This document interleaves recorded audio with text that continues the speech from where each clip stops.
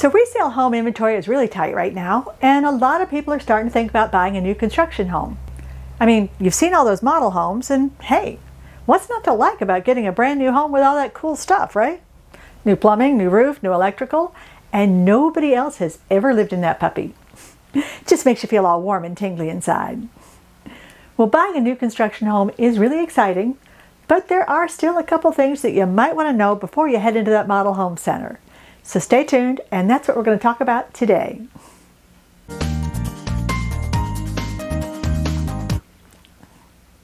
Welcome back. If you haven't been here before, I'm Stephanie Frost, a real estate agent in Ocala, Florida, and I'm here every week to talk about all things real estate in the Ocala and Marion County area. So you're thinking to yourself about how nice it would be to buy a new construction home. You can practically smell that new home smell already, right? Well, before you head into that model home center, let me give you just a couple tips that you might want to know first. The first thing you really should do is to find a really good real estate agent that you can trust and take them with you from the very beginning. If you're just stopping in the model on a whim without your agent, and this is really important, make sure that you tell the sales agent that you have representation and write down the name of your agent on the contact form that they're going to give you to fill out. Otherwise, you won't have any representation on your side unless you pay your buyer's agent's commission out of pocket. Because once you've filled out that form, the builder will not pay your buyer's agent. You're going to be at their mercy. Now, 99% of all builders expect to pay a buyer's agent's commission, so they build that into their pricing. And now that I've said that, you're thinking, hmm, if they're factoring in paying my agent into their pricing, I can probably negotiate a lower price by going in without representation, right? And not only is that a bad idea, the answer to the question is actually no, for reasons that we'll go into in a minute. So why is it such a bad idea to go into negotiations with a home builder without an agent to represent you? Well, first of all, think about all the people that you're going to be dealing with during the transaction. The builder's sales representative, the builder themselves, the builder's lender, and the builder's title company. Are you starting to see a pattern here? All those people represent or have a relationship with the builder. None of them are there to represent your best interests. Just saying. And this brings us back to what we were talking about earlier. You know, about how not having representation wouldn't actually mean that you could negotiate a lower purchase price. Well, the way that works is builders are usually really sticky about negotiating price, as in they don't. Except sometimes when selling the last few homes in a subdivision and they're anxious to move the crews on to the next one. And the reason that they don't negotiate price is because they need to keep appraisal values up for any future home sales in the neighborhood. And home sale prices are a matter of public record, so everybody knows what they're selling for.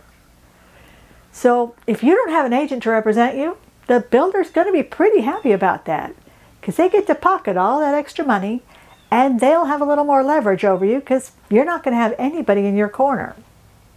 Which is not to say that they won't negotiate at all. You just have to know how to ask and what to ask for. They may not negotiate on price, but most times a good agent can get them to throw in some pretty nice upgrades in order to get the deal done. Now that we got that out of the way, one of the things that you're going to want to ask is about any financial incentives that they may be offering if you use their lender and or their title company. Pretty much all major home builders will have their own preferred lender and title companies that they like you to use, mainly because they trust them and they get preferred service from them, and it just makes their end of the transaction go that much smoother. So they're usually willing to throw in a few incentives to the buyer just to encourage them to use their preferred companies. Things like paying part of the buyer's closing costs, or sometimes even all of it, or a credit at the design center. So just make sure to ask about what they're offering and make sure that you get it. Now, while we're on the subject of the design center, you got to know that when you walk into that gorgeous model home, in this case, what you see is not what you get. Well, you could get it, but be prepared for a little sticker shock. Builders are trying to make a lasting impression on the people who visit their model homes, so they pretty much pack them with every upgrade they can stuff in there. And every single upgrade costs extra. And a lot of times it's a lot extra.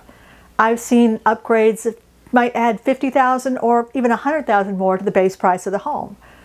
So be sure to ask about what upgrades there are in the model and what actually comes in the base price home. Some of the upgrades you might see in a model home are probably going to be structural, like an island in the kitchen, a larger master bathroom, or a walk-in shower. But most are probably going to be cosmetic, like upgraded appliance packages, cabinets, upgraded hardware, upgraded carpet and tile, upgraded light fixtures, or even window treatments. Those gorgeous granite countertops? Probably an upgrade.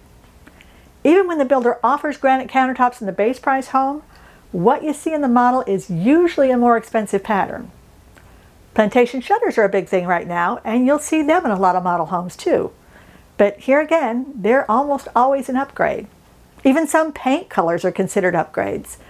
So just make sure that you know exactly what you're getting in your home as opposed to what you see in the model. Ask for a spec sheet, and if possible, ask to see the actual finishes and styles included in the base model home. If they don't have it on site, schedule a visit to the Design Center to see for yourself what they look and feel like. That way, you're going to know whether or not you'll be happy with it. And your agent can also help you decide what upgrades are worth paying for and which ones you could save a ton of money on by doing it yourself later. And I will definitely go over that in another video. Ask about the landscaping package that comes with the home. Some builders only include sod out to about 10 feet from the door, and some will sod the entire yard. Some include plantings, and some don't include anything at all. And don't forget about gutters, outside lighting and electrical, or sprinkler systems either. Now another thing you're going to want to know is about the community itself. What are their deed restrictions? Does it have a homeowners association? And if so, who's in charge of it? Make sure that you get a copy of any rules and restrictions so that you can make sure that you're 100% comfortable with them. Homeowners associations and deed restrictions can be a great thing for keeping the neighborhood looking nice and keeping home values up. But if they're too restricted for your taste, you need to know that before you buy a home in that community. You'll also want to know what warranties the builder offers on the home. There are usually two types of warranties on a new home. Most builders offer a one-year workmanship warranty that covers most things that could go wrong in the home, and a structural warranty that usually runs for about 10 years on the actual structure.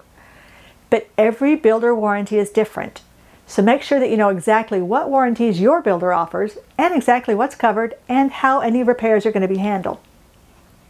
And last on this list is to make sure that everything is in writing. A new home sales agent can tell you anything, but unless it's actually written into the contract, it doesn't count. So make sure that everything you've agreed on gets written into your sales contract. And be aware that the sales agent is only that, an agent for the builder. They can't actually promise you anything binding. So until the builder or their representative is signed, it's not a done deal. So there you go. Just a few of the many things that you need to know before signing on the dotted line for that new construction home. And trust me when I say that these were only the tip of the iceberg. And your best protection when buying a new construction home really is going to be to have a real estate advisor in your corner. But either way, hopefully I've given you a few things to think about before you go shopping for that new home. And if I have, or even if I haven't, feel free to like and subscribe because I do this every week and you don't want to miss anything.